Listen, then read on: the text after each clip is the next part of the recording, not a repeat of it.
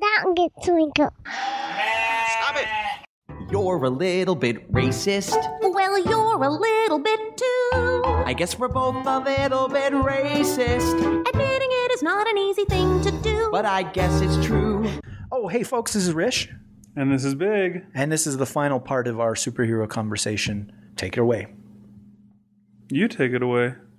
I'm really looking forward to seeing Thor and Captain America and, and Green Lantern and to a much, much, much lesser extent X Men this summer because these are things that I, I've loved or really You know you're gonna love the X Men the most because of that.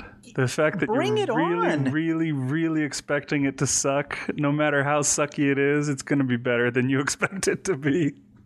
And you're gonna come out of this summer going, you know, X Men was the one I liked the best. Well, that, that's win win, isn't it? Uh, yeah, it is. Oh, okay, of those four movies, and this is a conversation we've had before, but why I'm saying it on the air, I'm not.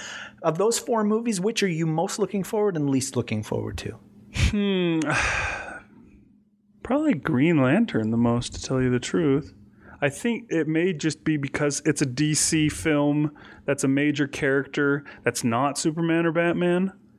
It's not, you know, a, a very lesser known graphic novel like Road to Perdition or something like that. It's a major character, but they, they don't do any of the others. They just do Superman and Batman and they won't venture out. And so That's because they don't believe in these characters. yeah, so they're actually trying to do the Green Lantern thing, and I'm I'm actually looking forward, and I hope it works out.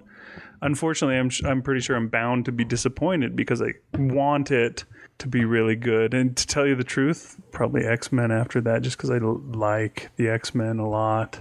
Have you seen that trailer? No, I haven't seen it yet. I I could watch it right now. Do you want to? can pause it. It's two o'clock in the morning. Do you care? bow wow wow yippee yo yippee yay. Wild Wild West. So what we were talking what were we talking about before I I, I had zero interest in seeing X Men First Class, but then that trailer came out, and I l- saw it, and I thought, "Oh, that looks like it might be a good movie." Yeah, it actually does. And so, you, so you said, you know, that's the one that you're going to like the the most because you have the lowest expectations. I wish there was a way to keep my expectations really, really low. right. But if I had seen Dark Knight believing that it was going to be the greatest superhero movie of all time, that everybody was proclaiming months before it came out, mm-hmm. I still would have thought it was a good movie. That's true. because it was. I, it I- I- was. I, I hope that high expectations and low expectations won't blind me from a good movie. Right. Lowered expectations only really matters when it comes to a crappy movie.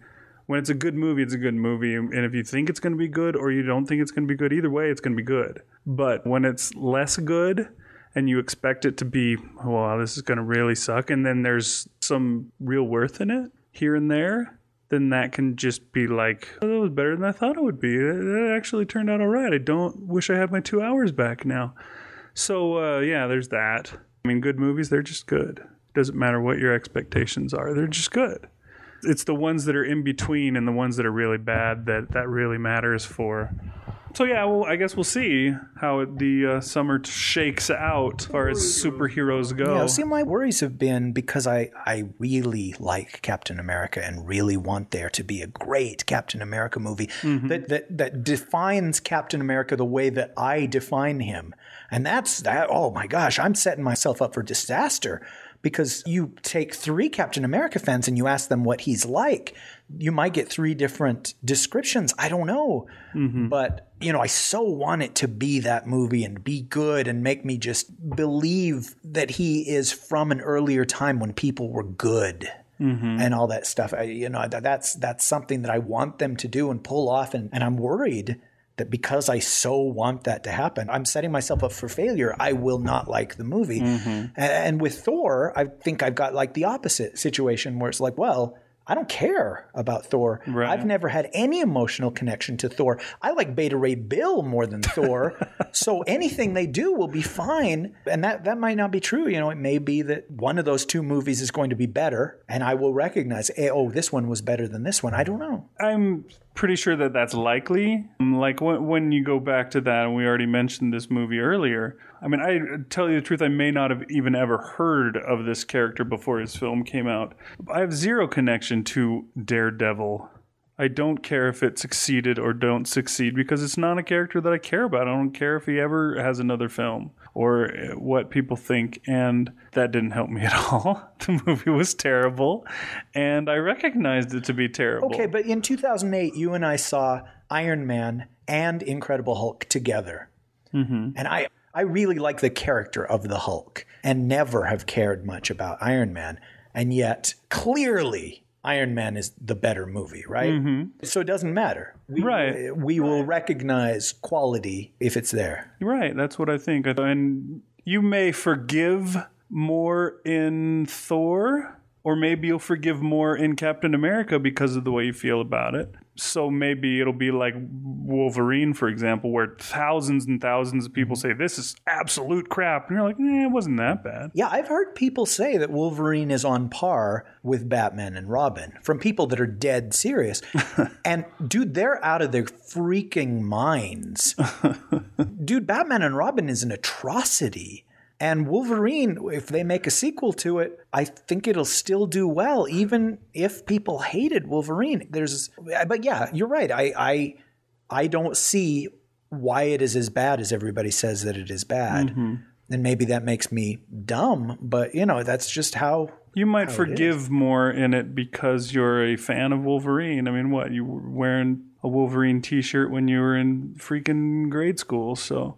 I don't believe there were Wolverine t shirts when I was in freaking grade school, but Okay, middle school. well, okay, we've talked for an hour. I'm going to continue talking then. They've never made an X Men movie as good as the comics.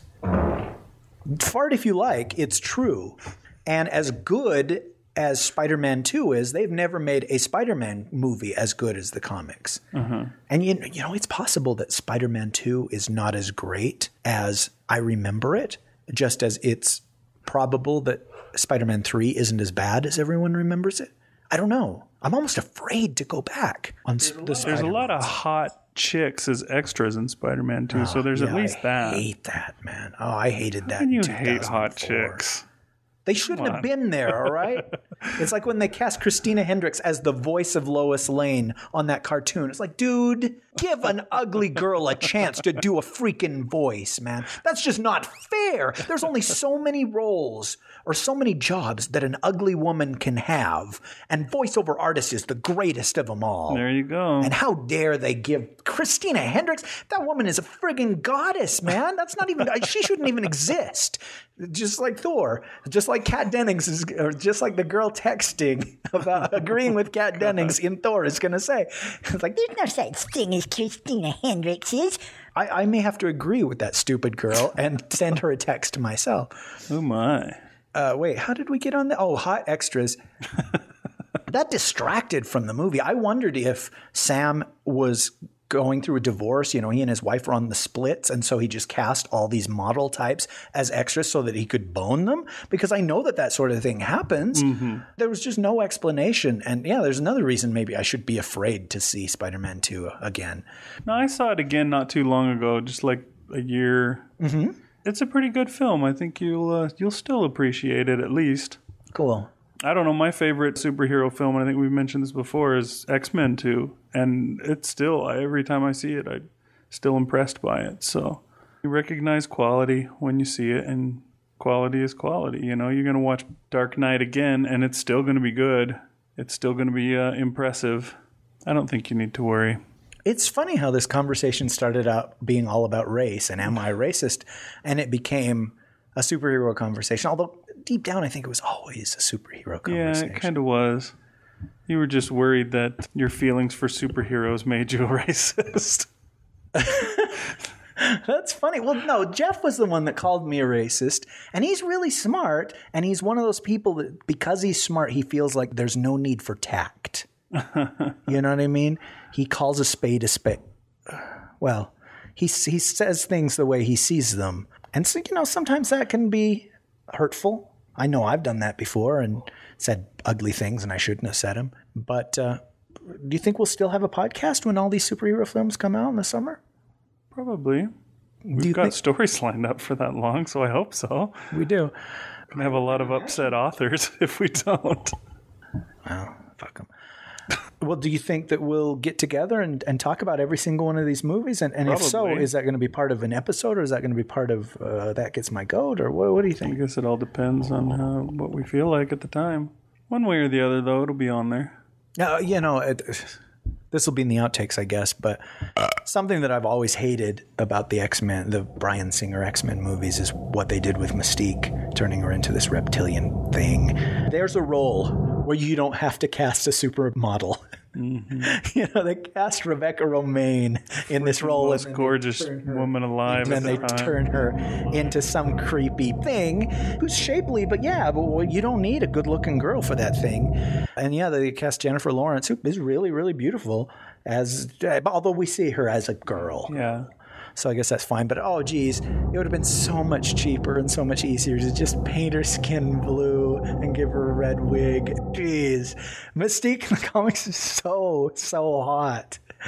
It's just I just still don't get that. It's like we're gonna turn her into the goblin creature or something.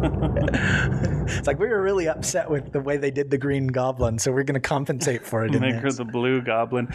Yeah, I don't know. I mean, they did they did their own take on a lot of the X Men. You know, somebody was talking about you know what they did with uh, Rogue.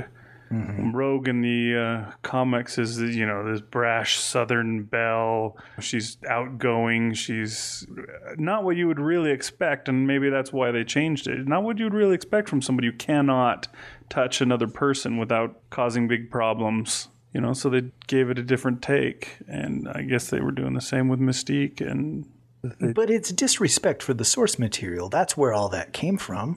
It's like, well, we're just going to turn Rogue into Kitty Pryde because nobody's going to know the difference. It's just a funny book. F them.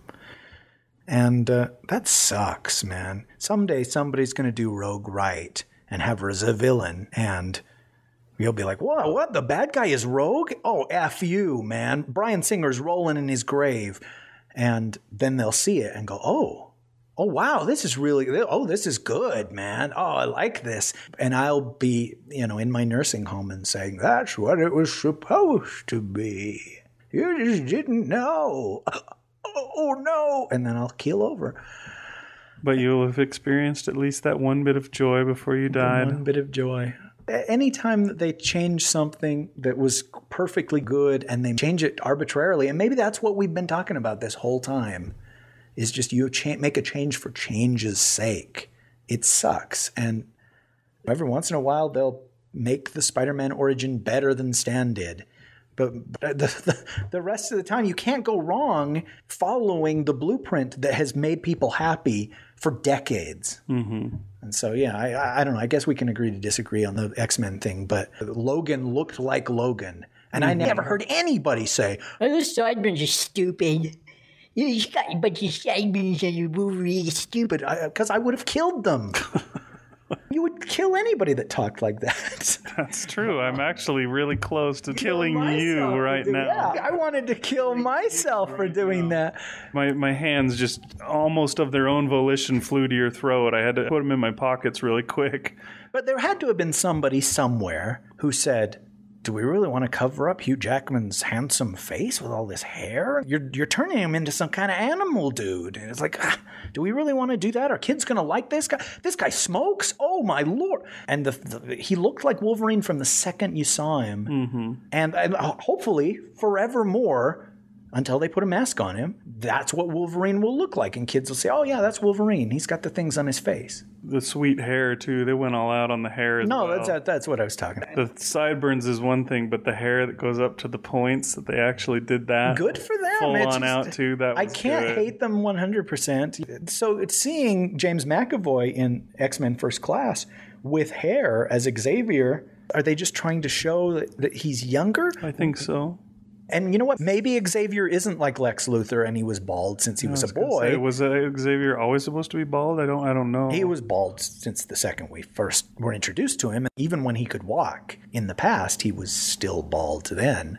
But you know, maybe that's not a big deal. I don't know. I think that had to have been a conscious choice not to shave McAvoy's head, the same as not to give the actor who plays Magneto silver hair. And you, you know what? Maybe that's the whole Bryan Singer element again. They're like, nobody's going to believe a young man has silver hair. Nobody. Nobody. Nobody. I know he can lift a battleship with his hand, but nobody's going to believe gray hair on a young man. We'll see how that goes. Part of me hopes that the X Men reboot fails utterly and that they all kill themselves. But another part says, I hope it's a really good movie and it makes money and they make a bunch more of them because there's not enough good movies. The end of the year, you know, they'll say, Boy, this sure was a bad year for movies. You hear it every year. and I guess maybe that's just because All they make is remakes and sequels now. well, that's true, but I guess just we've gotten old enough to where we listen to critics, Uh, and critics have probably been saying that since before we were ever. born. I, okay, I've been talking your ear off. It's very late. I'm sorry, man. Uh, maybe we can cut this into three episodes. What do you think? sure. All right. Wow, can you believe we've been talking this long? Well, uh, you know, the stooped shoulders, the droopy eyes kind of make it believable for me. It has been a long time. It's funny. uh, Over an hour ago, I said, "Well, do you want to just call it a night?" And do you recall what you said to me? I said it wasn't late enough yet. That's now, right. Well, yeah, you said that if, if I went home right now, you would just lay awake in your bed, unable to sleep. And so I'd like to think that I've done you a favor. You did. Getting you from there to here to where you can now have a comfortable sleep. there you go. And I've done the same service to all of our listeners. That's right. So hopefully, uh, some of them haven't fallen asleep while driving to work, which I'm always close to doing. It's a good thing I don't listen to our show when I'm going to work very much because it could be dangerous. I need to put in many more profanities then. Yeah, there you go. Shock my system. I need to put in the scary drone Ooh, sometimes. Yeah, that would that would be creepy. like- All of a sudden, I'll go back and put the scary drone in when I start talking about Mystique and see if that creeps you out when you hear it, all right? all right. Dude, I could talk forever, as you know, about things that I'm super passionate about. And for sadly, movies and comics and the few books I've read and and writing are things that I'm passionate about. Uh, stories I'm passionate about. I guess all of those are stories. So it's cool that we have an hour every week that we can talk about that stuff. Yeah, we can just blow it, waste that time away. Was it a waste? Okay, I'll be nice. It was fun and good, oh, okay. useful, and constructive. Okay, now you're overselling. All right, hey folks, this has been Rish Outfield. And I was Bigg Anklevich. Thanks for listening. Good night. That Gets My Goat is produced under a Creative Commons Attribution, Non Commercial, No Derivatives license.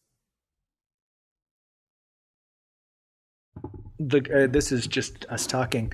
The girl that they've cast as Mystique, as baby Mystique in this, was the girl that was in Winter's Bone. Yeah, I saw they were they were interviewing her. Jennifer Lawrence, and her. she's cast as the main character in those Hunger Games flicks, Katniss Everdeen. Oh, really?